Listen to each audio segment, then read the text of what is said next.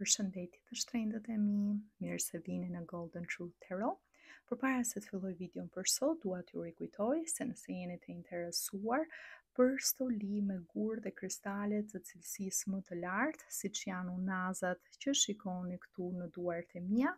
apo si kjo varse me gur labradorit, si këto byzylyk apo si këto varse me gurë të shumëllojshëm, mund t'i porosisni online tek website-i im në www.goldentruthtarot.com, linkun e gjeni tek kjo video, por gjithashtu dhe tek përshkrimi. Aty mund të porosisni edhe tarot e para shqiptare, bashkë me librin që ju shpjegon se si t'i lexoni vetë tarot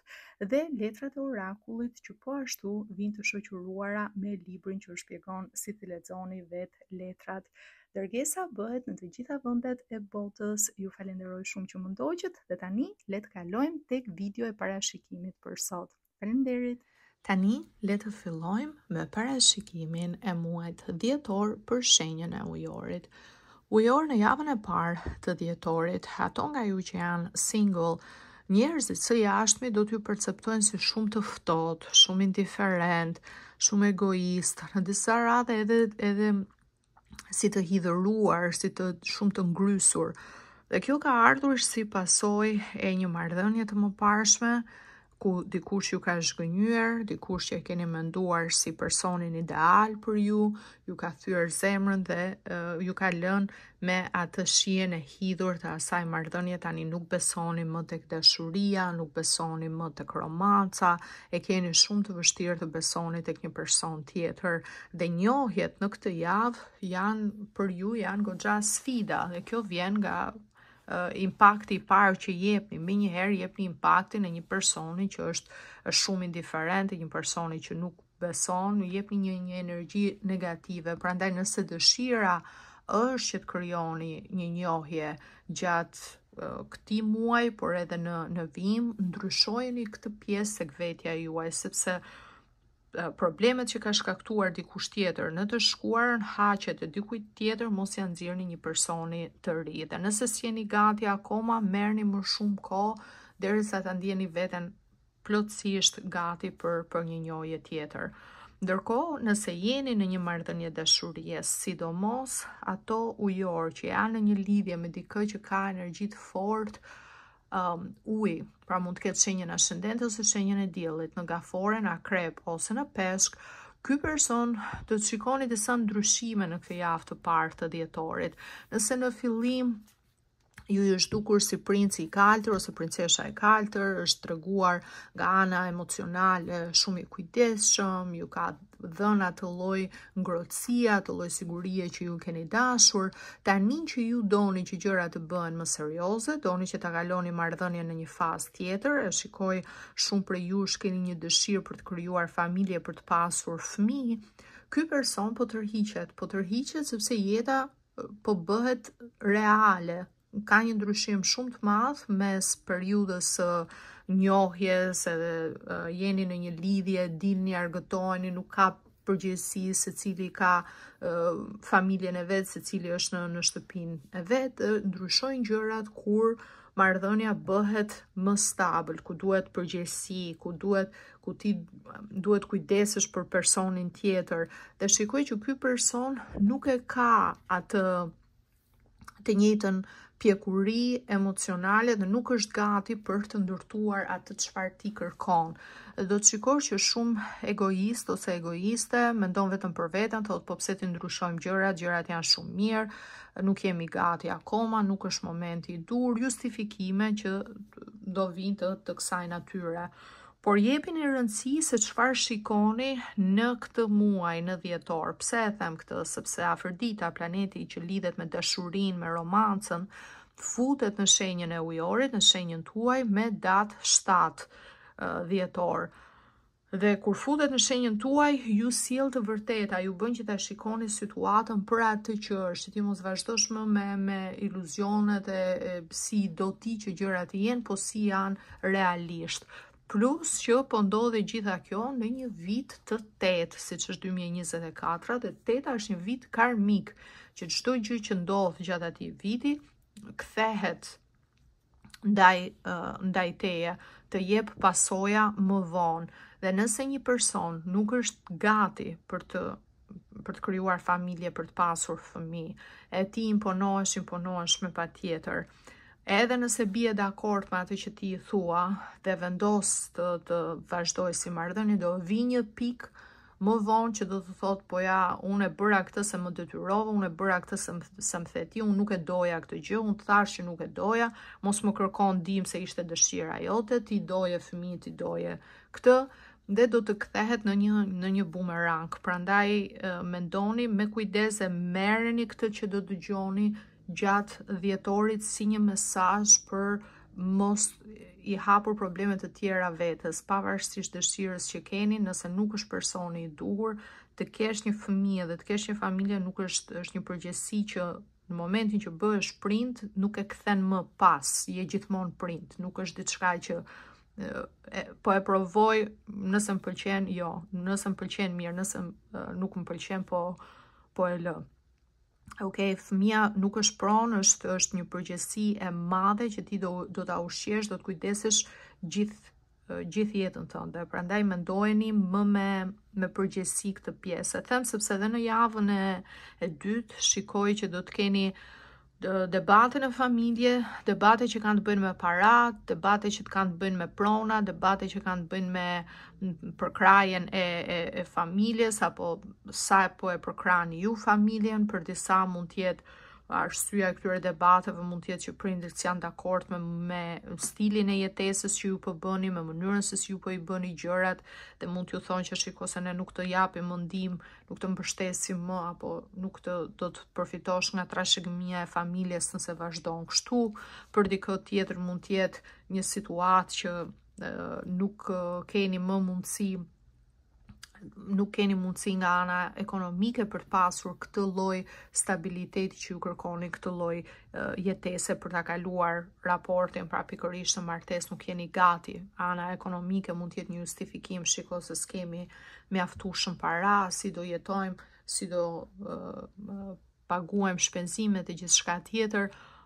nuk jeni akoma në atë fazë ujor. E disa prej jush mund të kenë edhe përgjegjësinë e familjes, mund ta ndjeni ju vetë që keni përgjegjësi ndaj, ndaj, ndaj prindërve, mund të jeni duke ndihmuar anëtarë të familjes, ju me të ardhura tuaja, uh, dhe kjo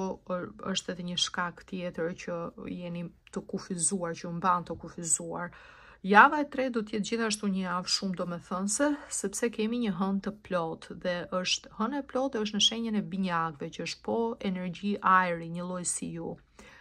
Kjo hënë e plotë do të ndodhë me datë 15 dhjetor, do ta ndjeni si energji 2-3 ditë para, 2-3 ditë pas. Çfarë është shumë e rëndësishme në këtë javë është që të jeni më të tërhequr, më pasivë dhe të dëgjoni se çfarë ju thonë personat e tjerë. E vërteta do të dalë në pah, se ka kur është hëna e plotë në Binjakë njerëzit flasin shumë. Edhe ato gjëra që i kanë mbajtur brenda për një kohë të gjatë i shprehin, i nxjerrin në sipërfaqe. Prandaj dëgjoni, dëgjoni me kujdes se çfarë po ju thotë personi tjetër. Ujorët ndonjëherë keni tendencën të jeni shumë kokëfortë, të jeni shumë o kështu si them unë o s'ka, keni dhe pak atë tendencën për uh, doni t'i mbushni mendjen dikujt tjetër me patjetër, domethënë, shtu edhe e merrni si gjë personale, ti mund të kesh aftësin për mund të kesh shumë arsye, mund të jesh një person që je shumë bindës, mund të jesh një një shitës ose një shitëse e jashtëzakonshme, pra arrin ti t'i mbushësh mendjen të tjerëve, por kur një person nuk e do diçka, kur mendimi është i kundër, nuk do të thotë që ti e ke gabim apo që pala tjetër e ka gabim. Ndonjëherë secili ka idetë e veta, ka mendimet e veta, ka parimet e veta, duhet të, të bini dakord që nuk bini dakord. Kjo është kjo është është mësimi i, i javës së, së tretë. Jo më kot edhe tek tarotet e mia, unë kam bërë qëllimisht këtë detajn e dy këpucëve ndryshe, njërën këpucë tjetrën çizme që uh, Ndonjëherë ne, ne përpiqemi, duam që gjërat funksionojnë, por gjërat nuk funksionojnë sepse thjesht janë ndryshe, janë dy ide, dy koncepte që janë ndryshe. Plus edhe shtata, shtata më thotë pusho, fol më pak, dëgjo më shumë në javën e tretë. Jua them këtë sepse shikoj edhe nga orakulli, Mesazhi për ju thotë desire, dëshirë, attraction, tërheqje fizike, energjia e gjarprit. Energjia e gjarprit është shumë domethënëse, sepse 2025-a është viti i gjarprit, sipas astrologjisë kineze. Dhe gjarpri çfarë bën? Ndërron lëkurën. Pra, mos u udhëhiqni vetëm nga dëshirat që keni, dëshirat fizike, se shumë nga ju në këtë marrëdhënie që keni filluar për shembull me me me shenjën e ujit që ju thashë, e mund ta keni nisur këtë marrëdhënie sepse keni qenë vetëm për një kohë të gjatë, keni pasur dëshira, tërheqje fizike, dëshira um, për intimitet, për të pasur dikë dhe, dhe nuk i keni menduar gjërat shumë thellë, nuk e keni menduar a përshtatet ky person me mua, a kemi gjëra të përbashkëta, a kemi të njëjtin vizion, të njëjtat dëshira për jetën, a jemi miq mbi të gjitha, se që një marrëdhënie të funksionojë në afatgjatë duhet të ketë një bazë shumë të fortë miqësie mes dy personave, duhet ta pëlqeni njëri-tjetrin si individ përtej pjesës fizike, përtej tërheqjes fizike, se pjesa fizike kalon pas ato 6 muajt e parë është koha më më intensive e raportit dhe pastaj vjen më në ulje. Po kur dy persona e pëlqejnë shoqërinë e njëri tjetrit, pra ty të pëlqen të flasësh me këtë person, të pëlqen të marrësh këshilla nga ky person, të pëlqen të bësh gjëra me këtë person sepse argëtoheni bashkë, keni atë bazën e miqësisë, ajo zgjat uh, ajo zgjat për gjithmonë. Dhe ka qenë pikërisht kjo, kjo dëshira. E ti po mundohesh që një gjë që e ke nisur me një bazë thjesht instinkti, thjesht dëshire të funksionojë. Përveç kësaj, edhe ato ujor që janë single, nëse në këto njohje që ti po krijon,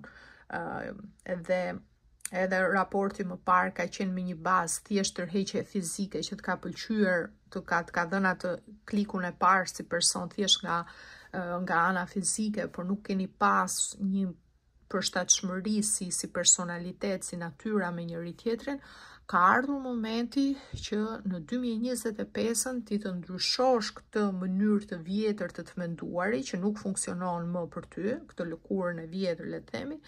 dhe të tregosh një version tjetër tëndin dhe t'i bësh gjërat në një formë ndryshe nga ato që i ke bërë më përpara. Tani për sa i përket pjesës së se shikoj një energji shumë të fortë që lidhet me fertilitetin për shumë nga ju. Mund të jeni në një moshë që thoni jam gati për të dua të kem fëmijë, dua të kem një fam, dua të kem një familje, sepse dhe nga orakulli i gjelbër, mesazhi është fertility, fertilitet, energjia e luanit që lidhet me fëmijët, po prap 29-ta më tregon që jeni shumë të ndjeshëm, shumë emocional në lidhje me me fëmijët, është një dëshirë shumë e madhe e juaja. Nëse nuk keni gjetur personin e duhur, se ju thashë kjo nuk është një gjë e vogël, një gjë për ta marrë lehtë, po na eci mirë, po s'na eci prap më mbetet fëmija.